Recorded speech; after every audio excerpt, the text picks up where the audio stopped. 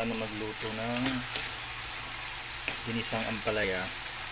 So, pinakuluan ko muna yung baboy, giniling, tapos ginisa ko sa sibuyas, kamatis, bawang, lagyan ko ng konting paminta, saka ginisa mix para mas malasa. Tapos, lagyan natin siya ng oyster sauce para malasa. Yan. Isa halo-halo.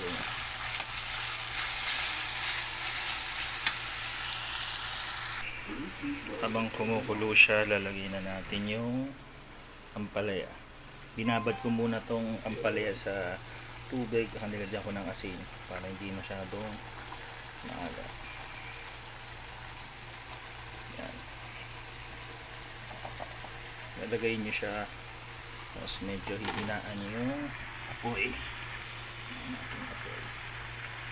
Hindi masyadong maluto. Bali, hahaluin nyo lang siya. Hindi siya pwedeng haluin pag nilagay na itlog. Kasi, ah, tatabang daw siya. Sabi ng nanay ko. Yan, medyo inahalo natin siya.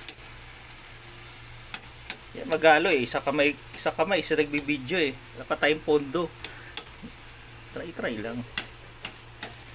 Masarap yan nilagyan natin ng oyster para malasa. Saka itlog. Yan, medyo malapit na siyang maluto. Lalagyan ko lang ng isang ah, pork cube para malasa kasi kulang sa alat eh. Isa lang naman.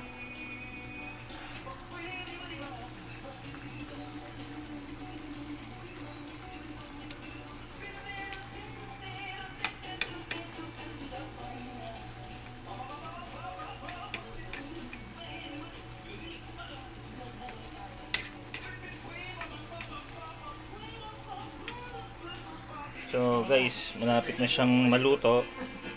Ilagay ako mga limang itlog. Binatay ko na.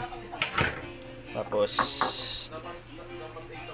lalagay natin siya.